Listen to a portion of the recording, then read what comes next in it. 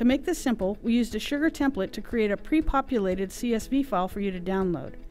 And to make sure you don't need to remember a long, ugly URL, we've made the link available via a bit.ly URL. To download the file, open your favorite browser and type bit.ly slash sugarleads in the URL and press enter to load the page. Then, to save the contents, press Ctrl S on your PC or Command S on your Mac to open the Save dialog window. Select Desktop as your location so we know where it is and click Save.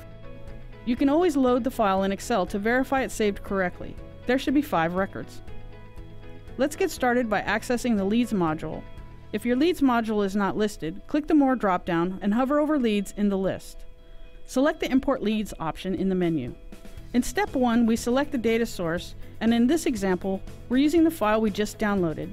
So the file on my computer radio button is the correct setting, so let's click Next. In step 2, we're going to tell Sugar which file to import. Click the Choose File button. Select the sugarleads.csv file we just downloaded. The Create New Records Only radio button should be selected. Then click Next to let Sugar know you're ready to import. Step 3 confirms the file properties, like date format and currency, are set correctly. Because this information is provided by Sugar CRM, using a Sugar template, we know that everything will line up as expected. But if you're using your own file, you can scroll to the right to verify everything lines up as it should, and then click Next.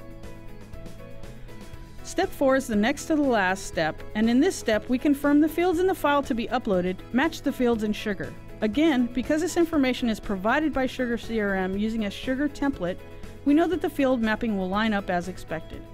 Click Next. In the last step, we check for possible duplicates, and in this case we know there are only 5 records with no duplicates, so we click Import Now.